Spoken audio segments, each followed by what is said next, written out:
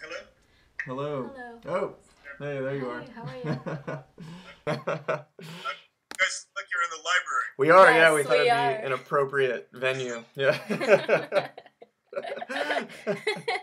Your manifesto was very interesting because it proposed some models on how you might look into the future of the humanities. Um, so I have a question for you. Like, what made you want to write the manifesto, and uh, what are the contexts in which you were um, writing? You know, the multiple multiple versions of the manifesto. I was invited uh, in 2007 to uh, be a, a or fellow Mellon Fellow at the Canadian Centre for Architecture with the Mhm. idea that we were going to develop an exhibition project for the Futurism Centenary in Uh-huh. 2009. So the 100 Yeah. year anniversary of the pub- of Marinetti's founding manifesto of futurism. Right. and um, you know so for really literally the two or three years before the digital humanities manifesto and i was spending a lot of time working on this exhibition Yeah. publishing in the field working with these kinds of materials and um, uh, so the birth of the digital humanities manifesto really came out of two circumstances one was that Yeah.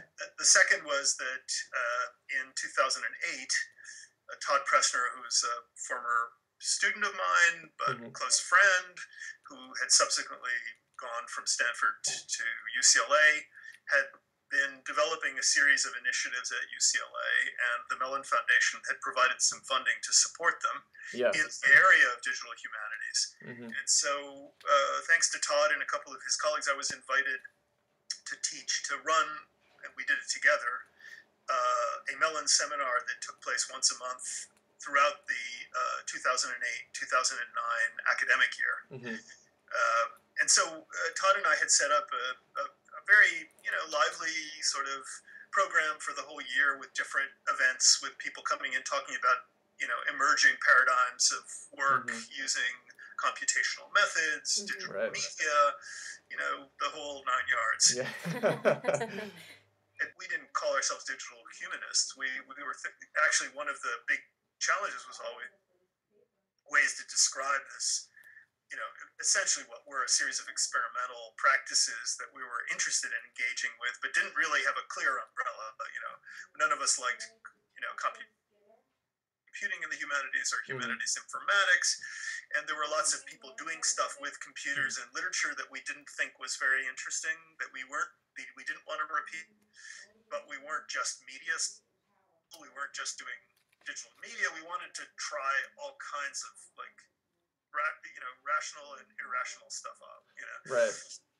the one point basically just text. Right, And yeah. The 2.0 version, I took all the materials that had been generated in this collaborative process, and then I added a visual apparatus. Mm-hmm.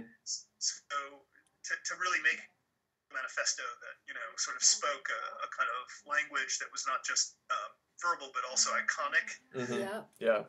Those materials, we, I largely put those in, and then other members of the team are completed them. So.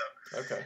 Uh, so it had this very you know complicated process but what was really interesting in the end of this was that even though you know the sort of period of intense interaction around the original text sort of ended in this the phase where we issued the 2.0 version um, it actually got a lot of press when we when we Right. did Yeah. yeah. Completely nuts on some of the multi the kind of media studies uh, bulletin boards and Yeah. you know tagging it and Yeah. yeah. into Chinese, and you know, uh, it, it, versions started appearing all over the place. So, um, so it was fun. It was it was intended as a serious exercise, but it was in a in a sense, in a, on the one hand, a little bit polemical and transgressive. On the other, to really carry out a kind of experiment in collaborative authoring. hmm Uh, Yeah. And um, I think in both ways, it, it, it had, you know, achieved its its aim in much better than any of us could have predicted. Yeah. Yes, absolutely. Yeah. I have another question that's um, more general. Um, so increasingly, more and more scholars are compelled to um, learn about the digital humanities, and um, in your manifesto, you uh, offer some models how the humanities can reinvent itself. And it's to push for what the manifesto called a generative humanities instead of instead of uh, uh, pushing for a sort of universal digital literacy culture only. So I, would like uh, if you would speak more about what you mean by the generative humanities. Yeah, so I, I mean, I think that you know the uh, one of the things that the label digital humanities tends to obscure a little bit is is at least in my view is that um, I mean not only have, has there been more than half a century of um, mm-hmm. sort of conversation taking place between the world of, of you know in, information technologies and mm-hmm. the arts and humanities disciplines, but but also that under the umbrella of digital humanities are grouped an extraordinary diversity of practices, some of which don't don't agree with one another. Right. Absolutely right. Fundamental ways. Mm-hmm. You know, so that it isn't a, a unified umbrella. It's just mm-hmm. a kind of broad kind of archipelago of yeah. different different islands. Of, yeah. yeah. yes, absolutely. And, and um, you know, and and within under that really broad umbrella, there are people who argue, and I I, I have huge respect for many of them, even if I, it, it's not my argument. I, I don't completely agree with them. Uh, that you know we're moving towards a new kind of integration, uh, reintegration of elements within culture and knowledge fields that mm-hmm. have been kept apart during the last centuries, um, a new kind of model of, of literacy right. uh, that maybe programming languages are languages like, you know, natural and historical languages, and therefore should be added to kind of complete this new sort of model of uh, a kind of universal literacy, we might say. Right. And, um, uh, and I think those are all plausible notions, but. Mm-hmm. Uh, you know, in our group, I think the, the core group who actually we went on from having co-authored these two you know especially the second manifesto mm-hmm. to writing digital underscore humanities for mit press mm-hmm. which is in a sense the real answer to your question is is read digital underscore humanities. Okay. All right. Because we felt we've done the slightly irresponsible thing. Now we need to really sort of put out on the table what our vision is of what a generative humanities could be, and uh, and that answer consists in a series of models of work that have been bubbling up in under the broad umbrella of the digital humanities that we think are the most interesting, mm-hmm. have the most interesting, the richest prospects. Um, and I think all of them share certain fundamental assumptions. One of them is that whatever we want to call it, you know, computation in the humanities, computing in the humanities, digital humanities, that what's interesting about the collision and encounter between the digital and the humanistic is not that we bring in tools from the outside and we do simply the things that we've right. been doing right. maybe a little bit better around the edges. Right. rather, rather that when you bring those two words together, you do something that actually transforms very nature of not what knowledge looks how it's experienced, how you communicate it, to whom does it speak. Uh, so generativity is a it's a metaphor, but it's a metaphor that I think is associated with the values of experimentation, mm-hmm. uh, with a with the notion of uh, denaturalizing our sense of where disciplines start and end, mm-hmm. Uh, thinking about about the new, about innovation in terms of genres. Mm-hmm. Certainly, uh, I also think it has it's connected to the idea. It's very much embedded somewhere deep in it in that term, but the, the idea of uh, a kind of model models of training and education that are more hands-on, that are, are more like about making. Right. Yeah that we're thinking and making the mm-hmm. brain and the hand are in a closer relationship than in traditional humanities education. So I think right. generative also in the same sense of like uh, bringing stuff back to the table that traditional ideas of humanistic learning have tended to push to the side or to you know say that's fine in art school but don't you know, don't do it at Harvard. Right, right exactly. right. I mean, and there's the, the line in the manifesto, right? The theory after theory with a capital T is anchored in making. And yeah so often. I mean, uh, maker culture. I mean, now there's like maker fairs, you know, appearing all, all over. So I'm interested, I guess, maybe uh, in more of your thoughts about maker culture, this sort of maker culture that's arising, and you know, I teach courses on digital writing, for instance, and a lot of that is platform. I teach them platforms for digital writing. It's we're at that late stage where it's sort of introducing them to these technologies, but the discourse around that is always, you know, what is gonna is this gonna get me a job, right? So there's this economic sense of like, if I use this technology, uh, you know, will I get a job? And you know, often that a tension arises between this compulsion toward making and being a good user of these technologies. So I'm wondering if you have any thoughts about that, perhaps that tension, and any thoughts about you know this rising maker culture. Yeah, yeah. I mean, I I've been really interested in the, that kind of emergence of making-based practices, Mhm. and uh, you know, I mean, I started experiencing it a lot in uh, you know when I was I was still uh, well, certainly actually starting in the late '90s. Really, I, I, I started feeling it quite a bit in San Francisco, uh, and um, it's just grown and grown and grown, and and Mhm. uh, I think you know it. It, it's taken a long time. It still hasn't really made it across the transom into all kinds of areas of the humanities, but I think that the um, that that's really been shifting just over the last maybe five years, Right. Yeah. Really beginning to happen. You know, Mhm. Not everywhere, but it's it's beginning to happen in a more significant way. Being a little bit of an amphibious scholar Mhm. with an interest in art practice, but contemporary art in particular, media-based art, but also in co- communicating scholarly knowledge to bigger, less tr- less you know narrow audiences than the audiences of specialized journals and, and university press books, uh, and beginning to undertake some curatorial type, uh, you know, sort of engagements. Mhm. Those things for me really kind of crystallized the kind of making that is the traditional accepted model of scholarly practice, which has to do with writing Yeah. you know, for certain genres, for certain kinds of forms. Mhm. What if we opened that up, expanded that field, and began to think of scholarly scholarship itself as a form of, of, of making in the much broader, more extended sense, and vice versa? What if we bring the culture of making to the table when it comes to communicating forms of uh, advanced uh, knowledge? And you know, back to your question about the student expectations. I mean, which is a, Yeah. it's an important question. Mhm. The um, you know, I think that the um, there is this tension between making as experimentation versus making as skill, you know, sort of acquisition of skills. Absolutely. Mhm.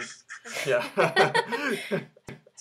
You know, I'm on the experimentation side and I Mhm. have the luxury of being able to be on that side. Mhm. But my argument is always that, um, and I think it's an argument that's that many CEOs in Silicon Valley would support, is that um, acquiring skills is is is a trivial process by comparison with acquiring the capability of working across skill sets. yeah. And one of the things that if the digital humanities means anything, you know, it it certainly means the, a set of opportunities for models of training and sk- and and skill creation that include have embedded within them the challenges of working in teams, working with people with very different kinds of expertise, Mhm. because nobody can have all those skill sets. Uh, Right. And the laboratory for me is the key concept, is the key Mm. container, because it's a it's a place where it's not about everybody becoming a coder, designer, scholar, Yeah. Right. writer, thinker, uh, project manager, you know, blah blah blah. Right. It, it's it's about understanding what it means to work in a community Mhm. that is committed to, uh, ma- in essence, building something that no individual within that community could build on their own. Uh, Yeah. Right. And that's fundamentally different, of course, than um, the traditional notion of what scholarship is. Uh, Right. but it is, uh, but it, it isn't actually, when you really scratch below the surface, it isn't even that fundamentally different because the world of ideas is built on the shoulders of, you know, it's always built on, you know, you know, ideas don't come from nowhere. They Right. themselves have a genealogy, and Mhm. we all have deep debts. It's just that the mode of production that's been favored by print culture has tended Yeah. to insist upon the kind of monastic cell model of Yeah. yeah. How knowledge is produced. But the reality is that that knowledge is always being shared, disseminated, exchanged, reproduced, revised.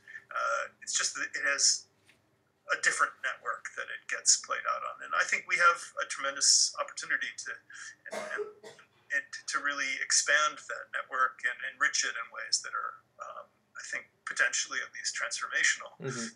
We're just at the beginning of that adventure right now. Right. Yeah, absolutely. Um, I really agree with you, and I kept thinking about the pedagogical implication of what, what you're talking about, right? And as someone who is, um, have been teaching for a few years now, one of my questions is what, what kind of advice would you have for someone like me uh, in literary studies, someone who really want to think how to incorporate pedagogy in this discussion? Um, ra- uh, rather than thinking about digital technology as something, as you say, just something you use to get a job. um, what advice would you give um, to younger scholars and teachers, most importantly, where they could um, start learning, start creating projects that understand digital humanities differently um, than just a user, right? Um, but more curating sense. Right. Yeah, I mean, I think I, I, I think we're still so early in this this kind of transformation that's happening that um, that that for better or for worse, there is no single answer to that question. Right, right, right, right. But I, I think that there are some. I mean, in my my view, at least, there, there are some some nonetheless some uh, abiding features of the landscape even now in its early state of development. I mean, one of them is that uh, you know that experience, like you know, just the, the mere fact of being part of a community is itself the most educational form of thing that you can do. So, Mhm. in a sense, work people's projects is. It, it, it, it sounds like a weak answer, but I think it actually this sort of apprenticeship model, you might say, Uh-huh. like wherever you have an opportunity to become part of a community that's engaged in a kind of practice. Yeah. Um, and if you have to start, you know, as the person who, you know, works the Xerox machine, that's okay. yeah, right. you really have to find points of entry that are your points of entry. Mhm. Most successful models of like digital humanities and digital media projects basically work off of that diversity. And so yeah. to be in that diverse cl- climate, and so you people think, and you Mhm. hear how the technology works, and you hear, you know, you hear what you know what a design process looks like, and you, Yeah. you just kind of begin to enter into this cultural world, which is a very different world than the world of the classroom. It's the world of Yeah. a kind of laboratory space, and you hear all these frictions, but you also hear how those frictions get addressed and overcome, and um, and in the process, maybe you develop a specific niche where your skills are anchored. Uh, I think that's, in my view, that's like the the best way to go. And some of it has to do with what your passions are. I mean, if you really are excited by video, or you're really excited by sound, or it's you know, most of us have a particularly strong affective relationship to a given medium or Mhm. to a given problem uh, that kind of grabs us for whatever reason, that's always a good place to start. Yeah. You know? Yeah. Yeah. And you know, but but again, I, I, I really like people who focus to, to to start at least with focusing on a really narrow set of skills that you develop, so that when you walk into the laboratory space, you bring something to the table, Right. Right. your experience. But it's not like to be the factotum who can do everything. It's Yeah. it's it's because you know something that other people may not know through your own experience of like struggling with trying to get Yeah. uh, I don't know a gift to do this or Yeah. yeah. To try to create a you know I, I don't know there's every every every skill area has a, a kind of knowledge that it brings a wisdom that it brings and um, the real challenge is stitching that into something big Mhm. that works and um, and it's that collaborative process that we don't have a really rich culture of in the humanities uh, and, Yeah. and frankly the models in the sciences aren't necessarily all that great either Mhm. so we sort of have to invent that and Right. uh, that's part of the adventure Right. That's wonderful. Yeah, I really like. I'm, I'm, a, I'm I believe in, uh, and I've certainly practiced this both at the humanities lab at Stanford and here at Harvard, in the in sort of breaking down the boundary line between the laboratory and the classroom. I, I Mhm. love my favorite part of my teaching uh, over the past 15 years has really been courses where there's a, an ongoing research project that has a moment in the classroom so that like students who are having a classroom experience have a kind of lab experience but in the classroom Right. and the students who are the most engaged by that go on they become part of the laboratory team Yeah, Right. that's- there's this cool. interesting kind of looping structure and Mhm. maybe they end up teaching like being part of the teaching Mhm. team next Yeah. time class is offered, and then you know who knows where they go. But Mhm. Right. uh, but I think that creates a, a different kind of pipeline than the traditional humanities classroom, where yeah, in the classroom you study the you know great works of Western literature, and then you go home and you're in this other world. Yeah. Uh, I think we haven't done a good job of creating a sense for students who are engaged by the arts and humanities that the humanities and arts classroom is just as attached to the world Mm. as a chemistry lab. Mm. Yeah, I think actually that's pretty much all the questions we have. We don't want to take up too much of your time, but this has been a great conversation. Yes. I think so. Yeah, good luck on the project. It's a great project. Great. Oh, thank you very much. Thank you. Thank Great. you. Nice to meet you all.